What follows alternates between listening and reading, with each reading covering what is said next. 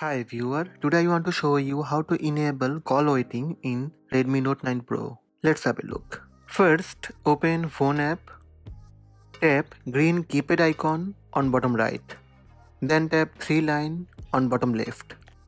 Tap settings. From call settings, tap call waiting. Call waiting. During a call, notify me of other incoming calls. Turn on call waiting. Tap open.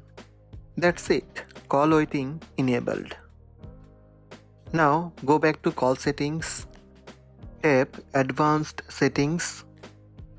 Here you can see call waiting notification. By default it's play notification sound continuously. Tap call waiting notification. You can change call waiting notification. You can set play notification sound twice or you can set play notification sound and vibrate twice. So these are the steps to enable call waiting in Redmi Note 9 Pro. Hope this video help you. Please subscribe my channel by tap subscribe button. Also tap the bell icon to receive notifications about all new videos.